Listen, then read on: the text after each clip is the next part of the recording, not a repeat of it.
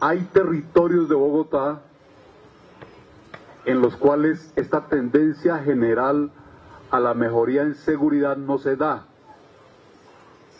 Son territorios en los cuales persiste un alto número de conflictos, una frecuencia muy alta de delitos y de todas maneras, lo más grave de todo, muchos más homicidios que en el resto de la ciudad. Y lamentablemente para nosotros, uno de esos territorios es el del Rincón en Suba. Entonces, por esa razón, nos vemos obligados a pensar en darle un tratamiento distinto y diferencial a una problemática que muestra ser distinta de la del resto de la ciudad, que es la del territorio del Rincón. Y ese tratamiento diferenciado lo hemos llamado el programa Territorios de Vida y Paz. El propósito es que estos barrios, con una intervención fuerte del distrito del Estado y con un grado de organización mayor de la comunidad, en pocos meses dejen de ser territorios conflicto y se vuelvan territorios modelo. Para conseguir que nuestra gente quiera vivir en el rincón, se sienta agradada de, de vivir aquí en el rincón y sobre todo que se sienta tranquila.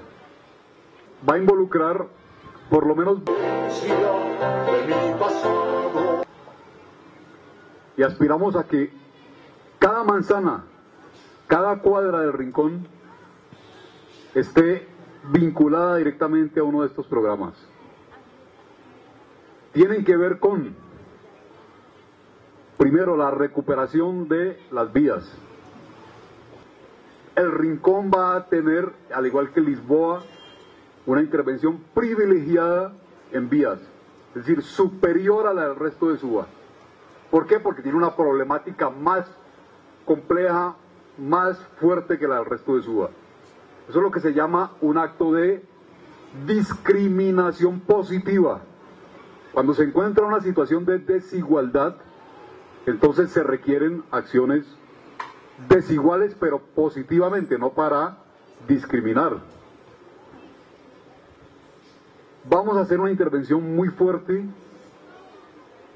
en relación con el uso del tiempo libre por parte de los jóvenes. Es el problema hacia el futuro más serio que la ciudad tiene y que el país tiene. Una juventud que sale del colegio cuando tiene el colegio y no haya algo útil y algo agradable y algo progresivo que hacer. Entonces nuestra política es, vamos a ocuparnos de proveerle a los jóvenes de este territorio ocupaciones gratas, ocupaciones esperanzadoras en el tiempo libre.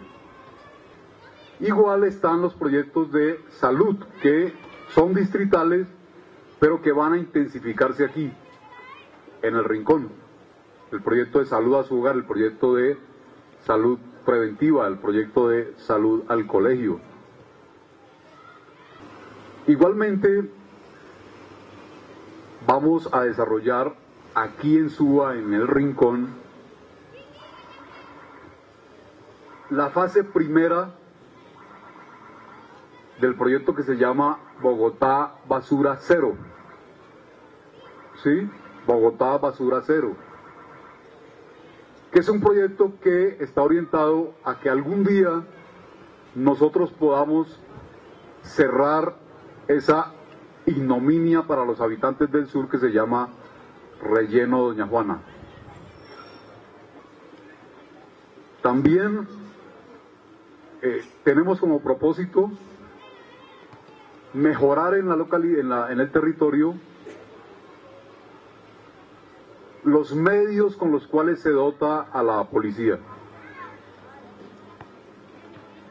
Porque claro, aquí hay una mayor conflictividad que es claro, no se resuelve solo con policía, pero tampoco podemos prescindir de una policía eficiente, suficiente, eh, honesta, que sea capaz de reaccionar rápidamente. Aquí hay también en curso un proyecto específico de eh, nuevo modelo de seguridad policial. Y desde luego, todo, todo tiene como fundamento la organización de la comunidad. si la gente no conoce el proyecto, no se organiza para hacer parte de él, el proyecto fracasa. Proyecto de territorios de vida y paz. Y nosotros vamos a encargarnos de que aquí haya un observatorio para que cada vecino sepa cada semana cuántos homicidios hubo, cuántas lesiones personales, cuántos atracos, etcétera. Para que nosotros mismos verifiquemos si el proyecto está teniendo resultado o no sirve y lo cambiamos. Claro, vamos a desarrollar también, no tanto taller y tanta cosa de capacitación, pero sí un proceso de formación política. Porque uno, como ciudadano, está mejor dotado para la vida si conoce la información sobre el Estado, sobre los problemas y sobre las soluciones que se proponen. Entonces puede tomar decisiones reales y no se deja cuentear cuando está informado. Este es, en síntesis, el proyecto Territorios de Vida y Paz. Para que, así como hoy, fíjense que hoy es un día para, para mí muy emocionante, porque esta calle hace un año la caminamos con Petro en la campaña. Y siempre la gente nos decía, esperamos que no sea la última vez que vengan aquí. Esperamos que cuando estén en el gobierno regresen pues aquí estamos.